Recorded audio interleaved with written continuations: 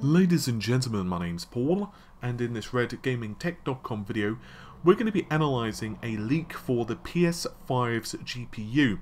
I've decided to do this as a separate video because I figure this is going to be kind of a long one. Uh, this is also an article, by the way. If you want the written word instead, you can of course find it in the description of this very video. So let's get us all onto the same page first. Uh, Sony and Microsoft will be launching their next generation systems, the PlayStation 5 and Xbox Scarlett, which is its code name, of course, in the holiday season of 2020. And as you would expect for the shift to the next generation, both systems will bring a significant improvement in performance over the current PS4 or Xbox One consoles. But in terms of actual raw details, both companies are keeping things rather close to their chest. Sony took the first blow in the PR war. Uh, lead system architect Mark Cerny, who was also, of course, the lead architect for the PS4 as well, had an interview with Wired, and he confirmed a few basic details that the system will be Zen 2 uh, CPU based. It will have up to 8 processor cores, no mention if it's going to be SMT or not, chances are good that it will be. An RDNA based GPU, for those unfamiliar, that is AMD's Navi architecture, which is the uh, RX 5700. We'll get to that more in a moment because I have a feeling it's going to be a different generation. There's going to be super fast load times thanks to a next generation SSD, although once again details were scarce there and things such as the clock frequency of the GPU, the amount of memory on the system, uh, the amount of teraflops that the system is capable of, none of that was mentioned. Uh, also, also added was that there will be ray tracing support, although didn't mention exactly what ray tracing the system would be capable of. It didn't explicitly state it would be graphics, ray tracing could also be audio, but the way that he kind of said it in the interview and the interviewer himself believes that he was referring to graphics, although Cerny has not confirmed that since, at least to my knowledge, so please let me know if I'm wrong there. And also the system will have advanced 3D audio capabilities, which I suspect is going to be really handy for virtual reality stuff. Microsoft, on the other hand, basically just mirrored what Sony did. I'm not going to lie, I think that the E3 conference from Microsoft was really impressive, and what they have kind of teased with the next generation Xbox sounds really cool, but both companies are playing things really close to their chest. All Microsoft really said differently was that they are targeting high frame rates up to 120 frames per second. They doubled down on that a little bit more than what Sony have and they also confirmed hardware ray tracing verbally, which is nice. But I think that it's rather obvious that both companies are being rather coy at the moment, and there's a couple of reasons for that. One, if you kind of throw all the marketing hype now, you've got nothing to tease people with, and it's, you know, not like the system's going to be launched tomorrow. It's well over a year into the future. And secondly, and I've said this several times prior, that raw T-flop comparisons are kind of a pain in the butt for both Sony and Microsoft for the upcoming generation. With the Xbox One X, it has 6 teraflops of performance, and considering that the next generation systems, let's say they have 12 T-flops just for the sake of this video, or at least this portion of the video, that means that to the layman, or laywoman if you prefer, it only sounds like the PS5 or what have you is twice as powerful as the Xbox One X when that is not the case because they have a significantly more advanced uh, GPU. So let's start talking about that now. So, there have been a couple of leaks prior uh, to the APU, well, what we think is the APU for the PS5. So I'll circle back to that in a moment, but I want to first bring your attention to a leak on Twitter from well-known user Komachi. He and I usually share stuff, and he publicly said that he has found a GPU which is known as Oberon. Now, he is not sharing where he's found this information because he's pretty certain it could easily get someone fired, so he's keeping this very close to him, his chest, which is fair enough. Obviously, at the end of the day, leaks are cool and fun, but we don't want to impact anyone's job in reality, right? But the GPU uh, has three clock frequencies, 800 megahertz, 911 megahertz, and finally 2 gigahertz. Ignore the, the 2 gigahertz one for a moment, please, and focus on the first two. Those are identical clock frequencies to the PS4 and the PS4 Pro, respectively, for its GPU. The GPU of the PS4 runs at 800 MHz and the PS4 Pro runs at 911 MHz which would be very sensible for backwards compatibility. Now, the 2 gigahertz, that's really fast, but I want to get into that in a moment. So, I actually messaged Komachi, uh, because as I said, he and I kind of swap stuff a lot, particularly when uh, Ryzen 3000 was coming out. I'm not, by the way, saying that I'm his best buddy, just that, you know, we kind of all talk together on Twitter. There's like a group of us that regularly uh, kind of talk together and he said he can't reveal any of the information. Once again, he just reiterated that. I'm not asking him to reveal his sources, but he did call it Oberon native mode. So this basically refers to the fact that he doesn't know the number of compute units which are running in the full potential of this GPU. But he said that he does know that the system has two backwards compatibility modes. Well, actually, he thinks it's backwards compatibility mode because it's BC1 is 40 compute units and BC2 is 18 compute units. The native, once again, in native, we are just referring to the PS5 running in its normal operating mode. So there is no special source going on, the GPU is not downclocking, it's not saying, oh, actually, I see a PS4 piece of software here, I need to run at slower clock frequencies or with fewer compute units to retain uh, you know compatibility. I'm running in PS5 mode. The number of compute units there is not known. So I tend to agree with him because BC1 is very similar to the number of the PS4 uh, the PS4 uh, sorry yeah BC1 is very similar to the number of in PS4 Pro. There's 36 compute units in the PS4 Pro, so that would indicate that PS4 Pro games would run better on the PS5. Meanwhile, BC2 is 18 compute units, which is the identical number as the PS4 base model.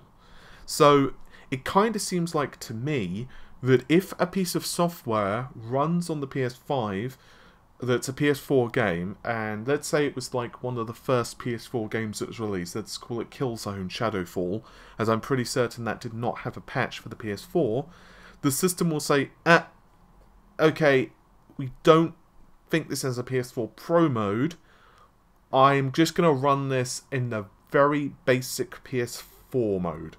Uh, so that basically would mean that the system would have the highest probability of getting backwards compatibility working without the software erroring, with it running at different frame rates, without exploding, you know, that kind of thing, without screwed up physics basically. Or just the software not running.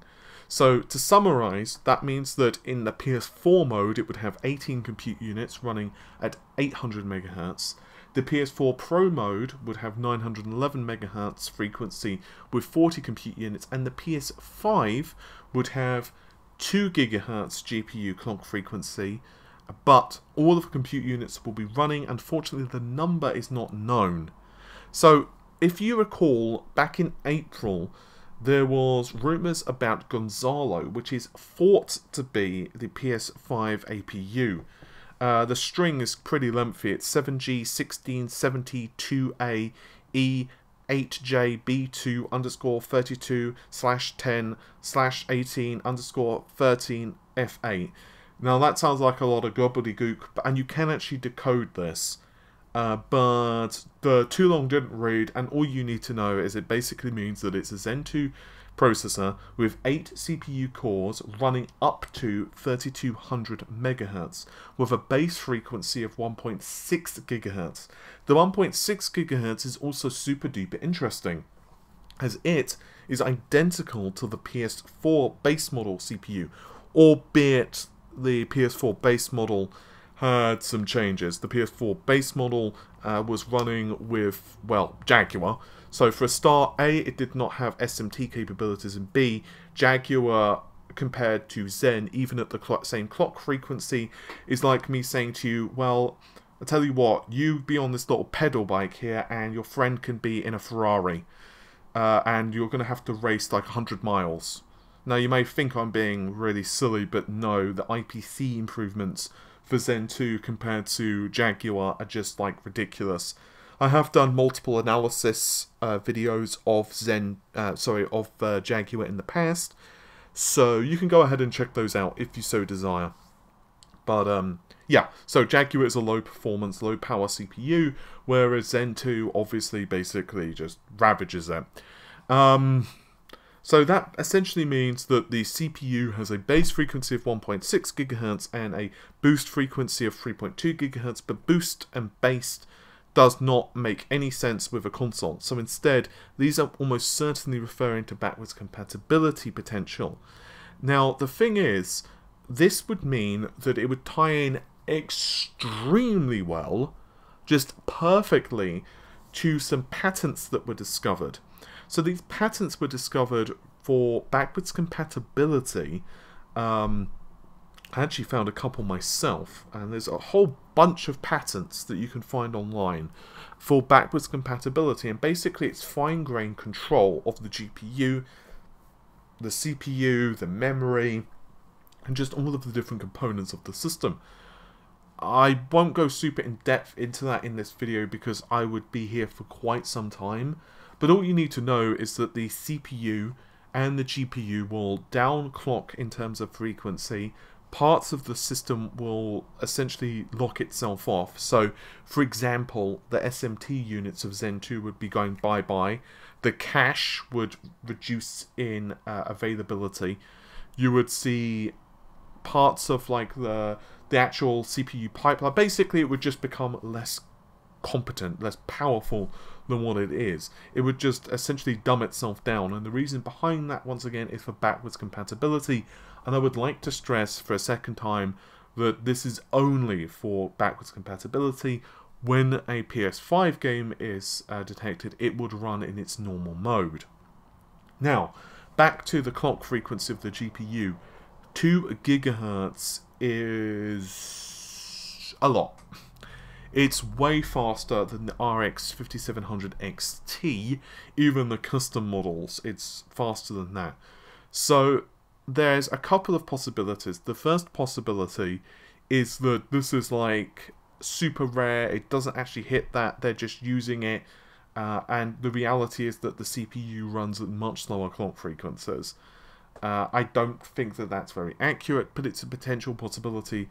It's only a leak at the end of the day, so it could be that they're testing this hardware, and testing a particular chip is not the same thing as it appearing in retail consoles. There is a distinct difference. This could be an engineering sample, it could be that they're testing things to see like the outside potential of a chip with very low yields. It could be that this is for development purposes only. This could not even be for the PS5 or a thousand other different potentials. The other possibility is that this chip is not being manufactured on the 7nm process that we currently have.